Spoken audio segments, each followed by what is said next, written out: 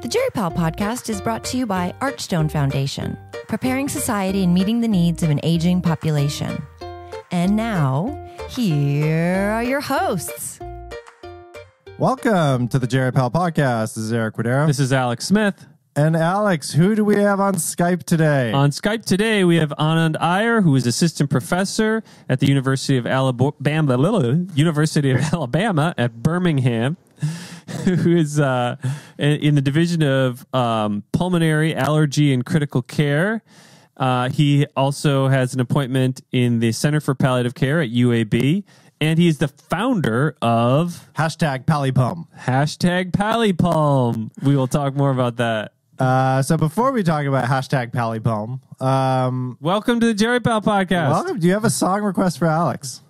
Yeah, it's probably your first person from Alabama. I got to choose a song that came out of Muscle Shoals. Hopefully, your audience knows about Muscle Shoals. Probably every hit from the 60s came out of there, uh, the I've same recording studio. Never So heard of it before. Yeah, you got to Google it. So Aretha Franklin, Lynyrd Skynyrd, Rolling Stones, everybody recorded there. So Land, Land of a Thousand Dances by Wilson Pickett. Let me see what you got. All right.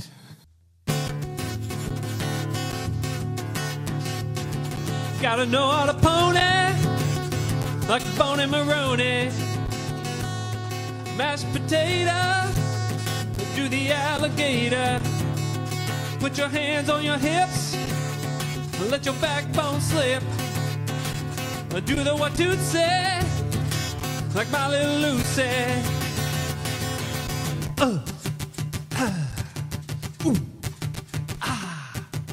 Na na na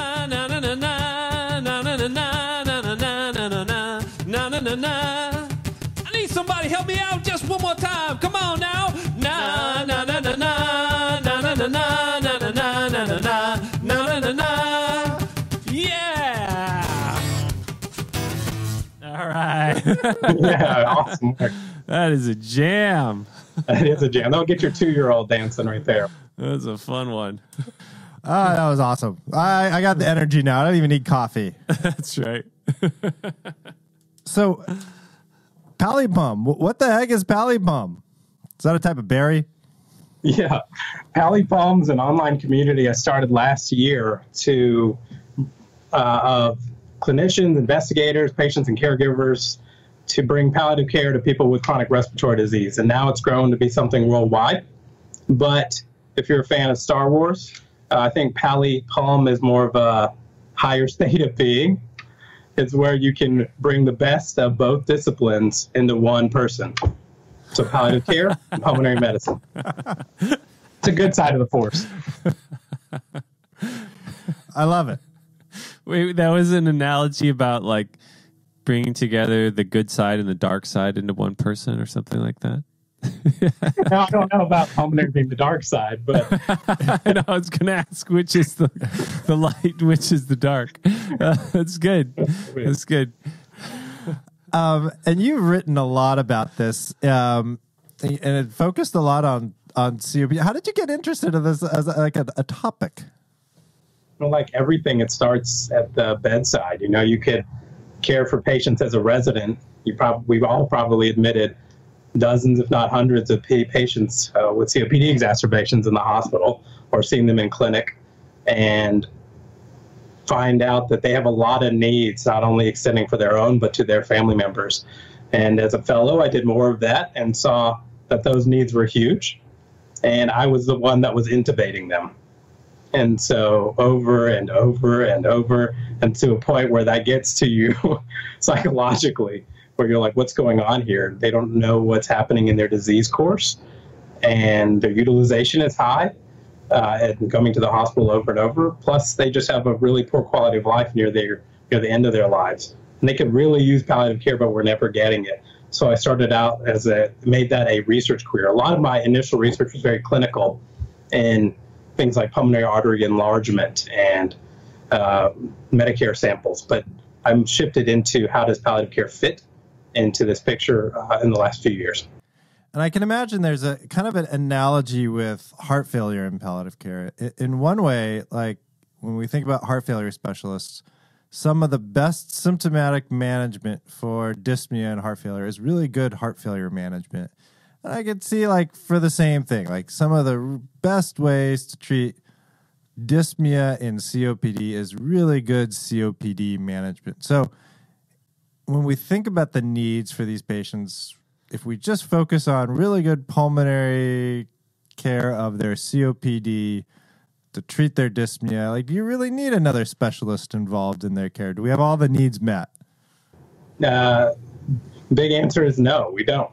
Um, dyspnea is just one piece of the puzzle. Yes, it's one of the biggest pieces, but so is depression, anxiety, uh, an inability to cope, and prognostic awareness. These are all themes that I've discovered in my own research, but those extend to the patient and their caregiver. So there's a lot to offer from not only palliative care, but geriatrics uh, in the broader scope. Yeah. Well, let's talk about some of your research. So you, you did a study in Annals of ATS, American Thoracic Society, looking at some of the needs for patients and family members. Do you want to describe a little bit about kind of what you did there and what you found? Yeah, that was a qualitative study of patients with moderate to severe COPD and their family caregivers. We had audio recordings, semi-structured in-depth interviews, and then conducted a thematic analysis and discovered five major themes raised by patients and their caregivers. Those were coping with COPD, emotional symptoms, respiratory symptoms, illness understanding, and prognostic awareness. But what was unique about that study was focused in on early palliative care, and that's palliative care long before the end of life. Uh, patients and their caregivers universally accepted the concept, had they, although they had almost never heard of it, and these five need these five themes of needs were shared across disease severity. So it wasn't just something which is currently happening that you should wait until the end of life to do. Rather, you could start incorporating it in less severe COPD. And that was that's been the whole crux of my research the last two years. Don't wait till they're on the vent in the ICU to start palliative care. And when you, when you talk about early palliative care, what were you what were you talking about there? Were you talking about early identification of palliative care needs and having like primary palliative care where people are addressing those needs, or is it early palliative care in COPD where you're getting early specialist level palliative care um, for these individuals with COPD? Great, great question. I mean, I have as one of my mentors, Marie Bakitas, who sort of helped to bring about this field of early palliative care in oncology. And, you know, that's at the di- time of diagnosis in, can- in advanced cancer. So that's a little bit trickier. It's hard to say you can do early palliative care in the diagnosis of COPD. But you would want a pulmonologist or a primary care clinician to have a basic set of primary palliative care and geriatric skill set to start the process of whenever they uh, see a patient, whether that's at moderate, severe COPD, or even milder stages, to recognize that they need to start initiating something. And then when things get a little bit tougher, refer over. Um, there are plenty of figures from CAPC and other organizations that illustrate this nicely. The um, amount of the dose of GeriPal gets to be more and more as that person gets closer and closer to the end of life. And in the study and in, in talking with patients and family members, was there anything that surprised you as far as their needs? Well, I think the coping one was just brought up so much. They didn't have an idea of what to do with their illness, like how to do things. One guy just talked about uh, it took him all morning just to bring up the energy and the will to go and empty his dog wa- water bowl for his dog. And so he talked about that was his primary focus for the day, was just to get over there, change his water bowl for his dog. And I thought, okay, well, that's that's incredible. That's a lot of social isolation. There's a lot of depression there. There's a lot of, uh, you know, physical mobility issues. Let's how can we get his strength up? And I started thinking about all these things that I could do for an intervention that could help him just do that, and that could make so much better uh, quality of life for him. And but everybody sort of echoed this, and then what I, what we never do as pulmonologists is reach out to the caregivers, hardly ever, and they were bringing up all the same things for themselves. Um, when COPD was diagnosed in my loved one, their mood changed. They started getting angry. I didn't know what to do with them. I was scared. I never left the house. I became socially isolated myself and fearful and anxious. I wish I could give them a can of air, somebody mm. said. So they were starting to express a lot of anxiety. And I had I'd seen it but they were telling it to me, and I had exemplary quotes in the paper, which were just fascinating. Mm-hmm. You know, you mentioned anxiety here, and one of the key themes that you describe are emotional issues. Uh, when we think, when I think about the pe- patients I've seen with COPD, anxiety seem, does seem to come to the fore more so than depression, and I wonder if that's part of the physical manifestations of the illness itself.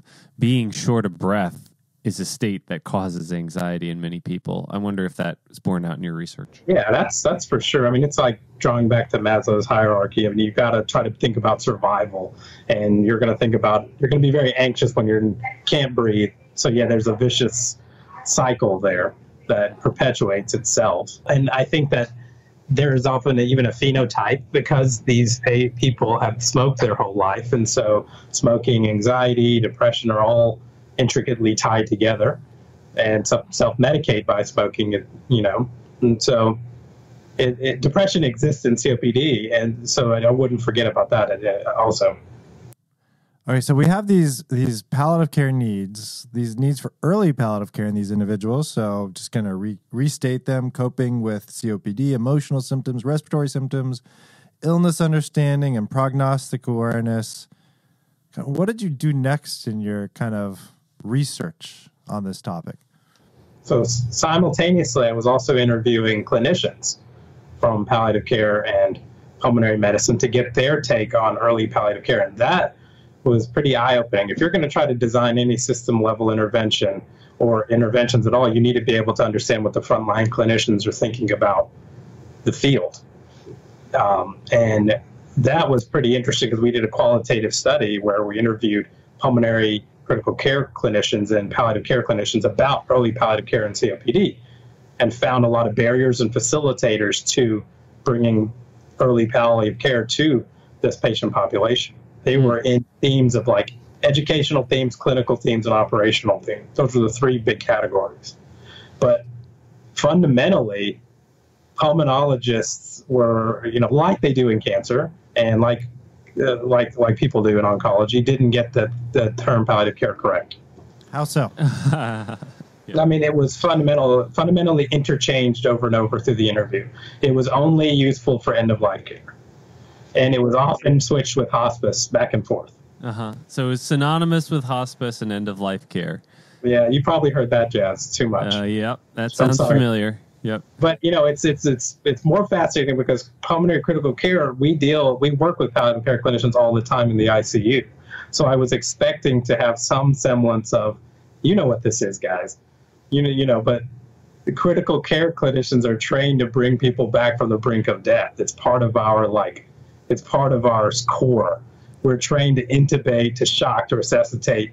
So that's where I started to have that PalliPulm concept is somebody that can look at that person uh, like and think she's 88, 92 years old with pneumonia, respiratory failure. I can intubate. I can use high flow nasal cannula. I can think about opioid morphine for dyspnea. I can start thinking about other measures in a fan even. And should I do it? Should I do this? What would be best interest for her? And, you know, that kind of thing is the power of having both in your hands is pretty cool. Did the pulmonologist have any other concerns about palliative care? Yeah, so then they raise the clinical stuff like when do we refer to palliative care? Uh, aren't they going to narc up my patients? Um, ah, aren't this, they?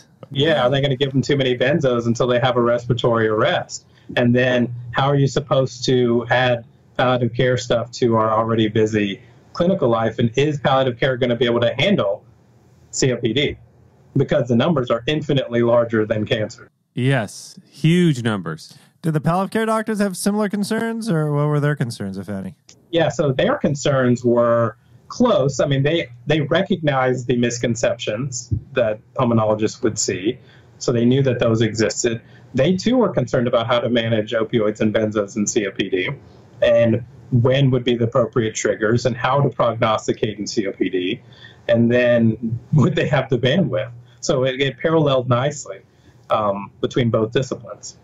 Do you want to say more about this concern about um, uh, use of opioids and benzodiazepines uh, in patients with pre-existing lung disease? Yeah, I think it's. I think it always refers to things like high chronic hypercapnia and this sort of hypoventilation state, you give too much opioids to somebody in that state, you may actually cause enough respiratory suppression to to precipitate a respiratory arrest. And in COPD, that could lead to hypercapnia, acute hypercapnic failure, in which case they might become somnolent, obtunded, and need to be intubated. Uh, Can we you just say what hypercapnia is for our listeners who are not? Great point. High high carbon dioxide levels. And that's what makes people sleepy, and people with COPD have high CO2 a lot, and makes them real tired, and then they can become obtunded, which point I come in and intubate. Happens all the time up here in the ICU. That's often one of the reasons for transfer. Wait, sorry. Is one of the reasons for transfer hypercapnia, or is it opioid-related hypercapnia? I mean, it can be opioid related hypercapnia or just hypercapnia from a COPD exacerbation. So you believe that this concern about opioids leading to hypercapnia um, uh, for patients with C- COPD, in other words, the opioid themselves slows down the respiratory rate, so that people with COPD who are at risk for building up um, CO2 in their bloodstream already, that's further exacerbated by the low respiratory rate, and they're not blowing off that CO2. That CO2 accumulates in their bloodstream, makes them sleepy. They are unable to protect their airway, and they're at risk for, you know, not breathing. Right, right. That's exactly right. I mean, I'm I'm not stating it as I'm I'm opposed to it. Rather, I think it needs to be a combined effort between a palliative care clinician and a pulmonologist working together to find the right dose that would be safe enough. And I have had patients personally who have started low dose opioids and have had tremendous benefit in relieving their dyspnea. So it's not without question that it could help. It's just something that's a lot different clinically than someone with cancer, where you could do that a little bit more freely. And I also want to refer to our listeners if you want to learn more about dyspnea, both in COPD and cancer. We did a podcast about a month ago with David Currow from Australia. Really great topic. We talked a lot about the research behind this, including uh, the evidence base for opioids and dyspnea. Uh, and I think the one of the key take homes is usually those are smaller doses of opioids given as long acting medications. But again, I really encourage you to listen to the David Currow podcast. But interested to hear what you use when you say low dose opioids. What what are you using? Like oxycodone, like five milligrams twice a day as needed, something like that. And I'd find that that won't hurt anybody. Twice a day. Yeah. Though the half life is short enough that it's like four to six hours or something. Right. You, you give it twice a day. Yeah, I'd probably be okay with that. Yeah. But in more than that, you might be concerned. I'd be a little bit more concerned. But again, I'm still just starting out. So Yeah. Right, right. Would you ever use liquid And then morphine? in the, in, yeah, in the inpatient setting, I would use two milligrams IV morphine Uh-huh. when I can see them in visual and watch them, Right. and I'd give them much more frequently. yeah. And it, I'd, I'd observe that, and I can see it, and I'm okay with it. And just a shout out to our listeners again. I think the one for me, the one big take home from David Currow was like all the studies are long acting opioids, but they have formulations of long acting that we don't have here in the US generally, which is lower dose. So someone out there, give us a low dose long acting formulation. Yeah, right. We need that. Um, and the other take home from the David Currow podcast was that for people with moderate to severe shortness of breath who were started on long acting opioids, there were no harms in terms of uh, respiratory depression that rose to the level of clinical Yeah. alarm. in the studies using low dose, Yeah. long acting opioids. Right. So how does that convert to clinical medicine is another question. Right. Yeah, and I mean, and some studies have shown some adverse events in older adults in particular. So we do have to be cautious about Yeah. the opioids and benzos in that population anyway. So just keep throwing it out there. So going back to kind of what you've learned from the the palliative care doctors, the pulmonologists, um, wa- was there uh, a consensus of who should get kind of specialty level palliative care? Yeah, probably. Um, I mean, people gave some referral criteria, and almost all of them thought the clinician side thought you get a certain FEV1 in the like 50%, so that would put you at around moderate or be up, be up, severe to very severe COPD if you're using these staging criteria. So that's your lung function on a pulmonary function test. People who have severe shortness of breath, uh, frequent hospitalizations became brought up as criteria. You're admitted and you or you get admitted to the ICU in particular.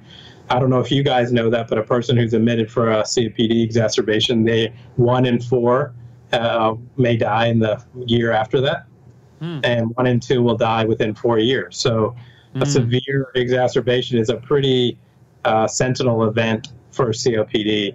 Um, so the, everything that you saw in residency and admitted, those people have a high mortality in the next year. So that's an immediate trigger for me that they probably need some palliative care at that point. Mm-hmm. Um, starting things like BiPAP um, and or um, having things like depression and anxiety. But the list was huge. What could be brought up, but frequent hospitalizations kept coming up over and over. Yeah. So um, it sounds like part of that is from a prognosis standpoint. Their prognosis may be significantly worse. And when I think about COPD too, I think one of the challenges is prognostication. Like I can look at like the Bode index. Is it Bode or Bodie? I, I think both. Yeah, Bode. I do both. okay. Um, the Bode index, which doesn't really help you, is it gives you like a four-year prognostic like idea based on quartiles. I don't find it incredibly helpful. Like, how do you right. think about prognosis in COPD? Good question. I mean, I think of it. You've seen everybody that has. I've seen people with the worst lung function you can imagine live for years, and so that's the challenge with we which we face in putting palliative care to a chronic disease state is this longer lifetime that they have with way poorer quality of life in many senses than some with advanced cancer. And Amy Kelley put out a great paper that showed that they people with COPD have dyspnea, nausea, vomiting, pain, anxiety, all of this often on in proportion with advanced cancer. How do you prognosticate?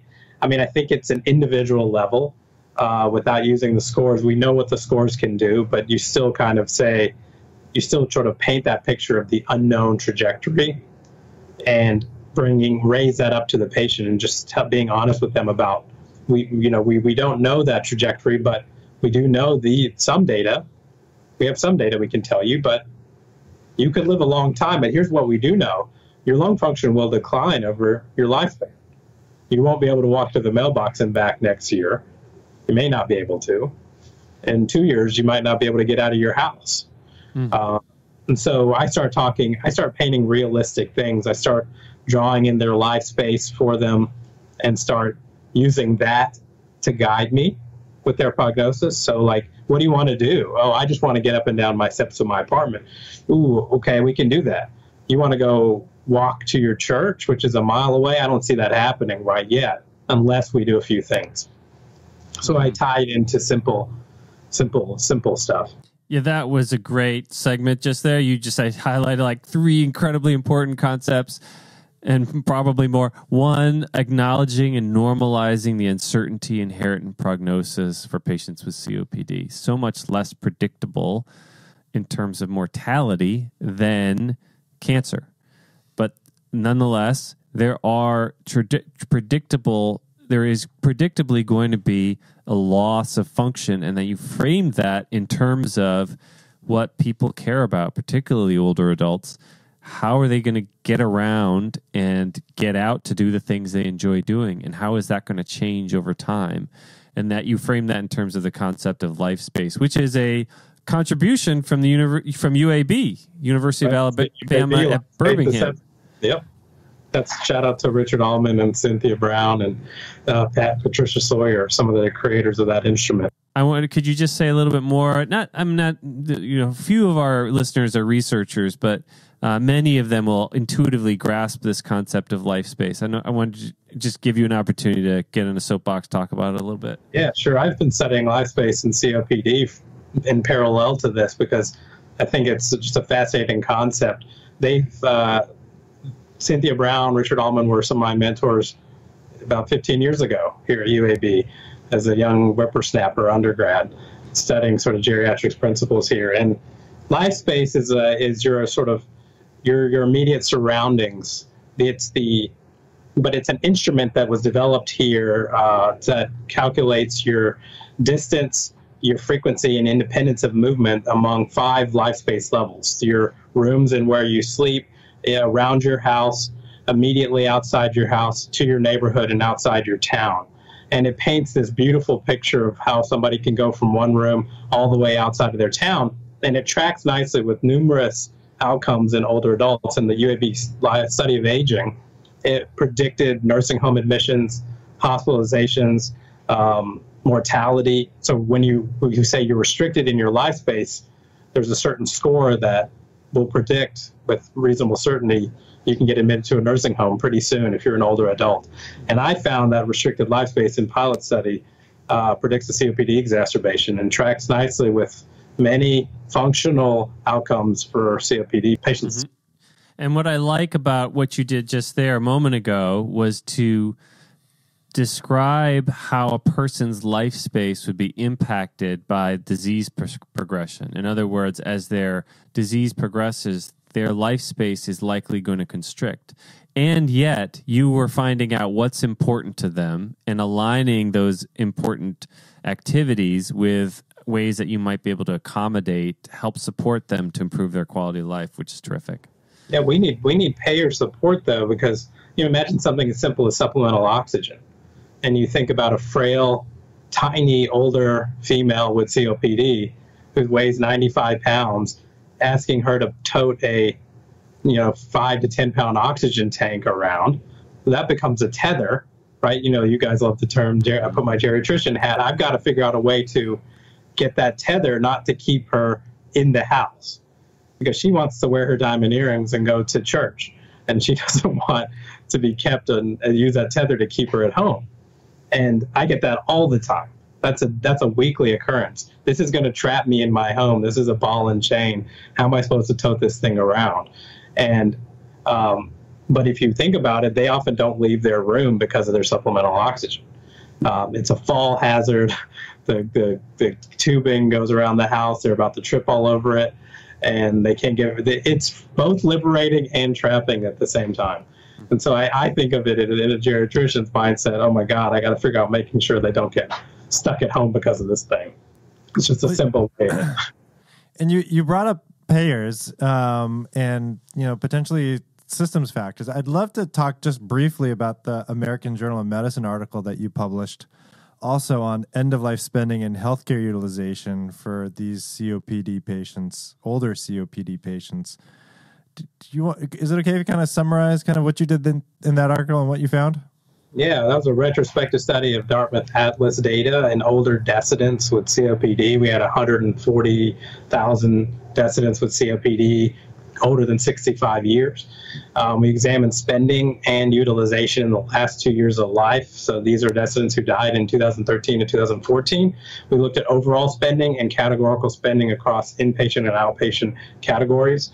Um, 40% of the spending came from inpatient, but the remaining 60% went to all sorts of other ambulatory services. Um, utilization was through the roof, as you can imagine.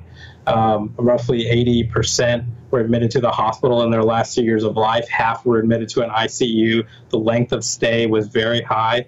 Um, but what was amazing to me was that, as a population health standpoint, there was extra- tremendous variability across the country um, in ways that different uh, referral regions spent and utilized. I guess it's like if you build it, they will come mentality. Mm-hmm. Highly highly populated urban centers had high rates of utilization and longer lengths of stay, and those things track nicely. But the take home was more so than that was the hospice utilization.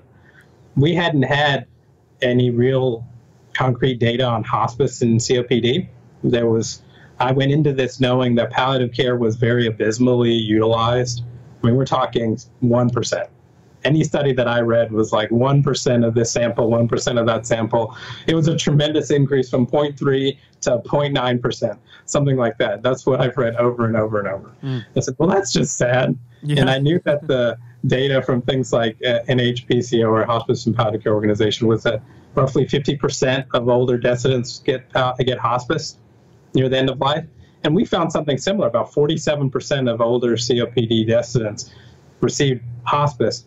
And though currently, from what I can tell, the average uh, length of stay in hospice is 70 days for the average population, um, and that's been kind of growing slowly over the last few years. In that time period, ours was um, 39 days on average. So COPD patients are going real late, and uh, and hospice didn't track with spending like all the other categories did.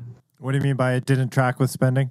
It meant that um, all the other categories, things like acute care length of stay, LTAC length of stay, skilled nursing facilities, all of those had some association. You had more utilization of it, Yeah. your spending increased. But with hospice, things were pretty flat across the. Uh, uh, uh, there was there wasn't a linear association with spending there, and so my take home was that we were referring too late. There was widely variable geographic utilizations. Some places were super low, some places places were decently high. But if we're going to try to make an impact on outcomes like has been shown in cancer, we can't wait till the last month of life to um, to do this. So that's why you need early palliative care. So what's next for you? So you, you've you've taught us that there's there's high symptom needs, emotional needs, uh, coping needs for individuals with COPD, huge utilization issues, um, healthcare utilization, that we're not using palliative care early enough. Like what's what's next for you? Oh yeah, that's that's a great question, and it, it, so there's a lot of unknowns in the next few months. Um, but it, these all this data provided uh, tremendous background data for a grant that um, that's uh, that's out there, and so depending on how that goes, that's what I'm trying to build an intervention, um, an early palliative care intervention modeled by prior successful early palliative care interventions in cancer, tailored to older adults with COPD, um, specifically focusing on things like life space and uh, physical function, frailty, those kind of things, and see how this kind of intervention can impact it using a pilot trial mechanism. So that's what I'd like to do. You know, make the career bigger, um, get the pulmonologist and knock them on the head, tell them we need to do these things more. That's great. Yeah, teach them what palliative care is. PalliPulm. That's exactly right, guys. It's not hospice. Hey, um, have you heard of have you heard of other uh, programs that have uh, PalliPulm? Are there successful models elsewhere in the country of practice uh, outpatient palliative care clinics, for example, that are seeing quite a few patients with COPD? Uh, there was one in Canada where they integrated for interstitial lung disease um, pretty well. Uh, they integrated palliative care using like nurse practitioners. I've had some some colleagues in Illinois and elsewhere embed a palliative care clinician in their in their pulmonary clinics. Um, those are reasonable and seem to be large scale scalable options. But I think it's going to have to be that you know, you, you guys know this. There's not enough to go around, and we need we need pulmonologists and primary care clinicians to get the message and learn the skill sets if we're going to have a chance to meet the deficit of palliative care and geriatricians that are that's coming in the next decade. Yeah, absolutely. We need models like Enable, which is right telephone based, nurse led, isn't it? In intervention. We're That's gonna have a podcast Right. with Marie Bakitas um, in a month or so. Yeah, I'm excited about that. Oh. Yeah, learn more about Enable. You guys, yeah, yeah. That's that's what my my intervention's modeled after, and and I know it's sort of preliminarily feasible in patients with COPD. Now we just need to tailor it to the older adult population. but you know, we just need to make sure the pulmonologists know what palliative care is. That's a big problem. Well, there's there's there's things I think that pulmonologists need to know. I'm wondering, like, are there a couple things that, as geriatricians or as palliative care clinicians, that you really wish that we knew, um, or like pet peeves that you have? yeah, that, this this is a tough question. Um, I don't think you guys see see enough of them to to maybe get the experience. And I even in my study, palliative care clinicians were concerned about what medicines like antidepressants and anxiolytics would do to COPD patients. And I think if you gave us a call, we could work together to find a right dose that we would be that would be safe. And we've did this discussion throughout this podcast, right? That opioids are not necessarily harmful, but if you do it at the right right dose, we might be able to work together. Then talking with us about prognostication. Um, I'm one that can bring it up early, but some of my colleagues don't want to refer to you guys because they feel like there's there's people are throwing in the towel, um, and I don't think that's right. I think that they're you're going to have to work with us and figure out what that what that prognosis means and how do you define that better. I got another question for you. So I'm really excited about um, PalliPulm. I want to learn more about it. You know, actually, we are here at um, uh, at our institution. We're actually uh, working on trying to get palliative care integrated with uh, pulmonary clinic, chest clinic, with Neil Trevetti and others like that, and Ashwin Kotwal from Palliative Care. Um, if I want to kind of dive deeper into this, what can I do to get more involved in the PalliPulm community? Well, we're on Twitter. That's where we started at, at PalliPulm, and you could pull up all the hashtags using the model of this famous podcast that I've heard about called GeriPal Blog. We're trying to. I heard about that before.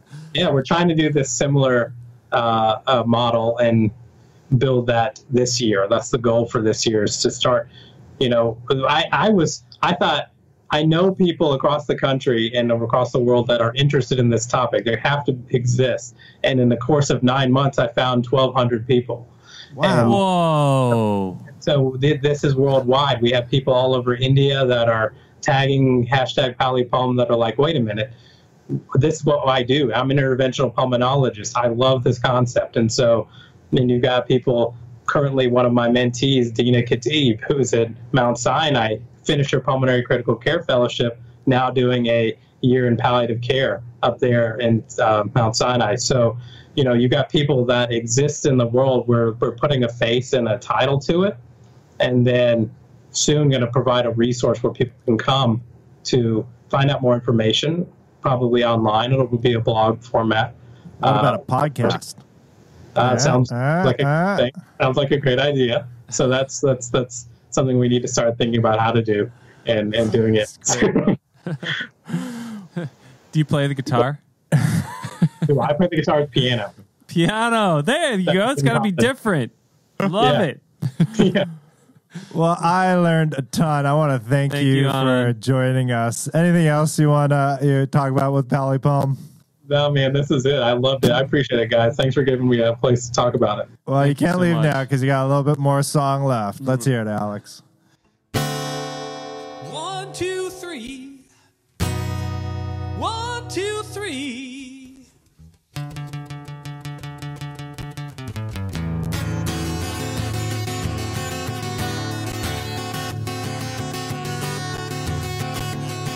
It's a habit with Long Tall Sally, we're twisting with Lucy, through the Watusi.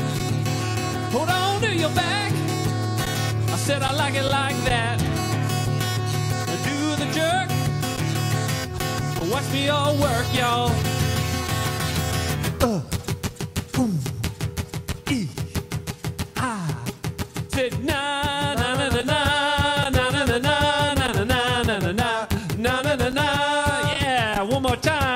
go. Na na na na na na na na na na na na na na na na na.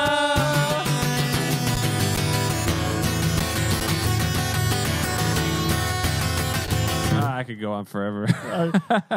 I could always tell when Alex loves playing a song. Uh, fun. yeah, Muscle Shoals, guys. Google it. You'll you'll blow it'll blow your minds. That's the best. Yeah. Well, again, a big, big thank you for joining us, and to all of our listeners for joining us and supporting the GeriPal podcast. Thank if you'd you like to support the GeriPal podcast, you can always go to your favorite podcasting app and rate us. And Alex, what did you say? I said thank you to Archstone Foundation. Good night, everybody. Bye, folks.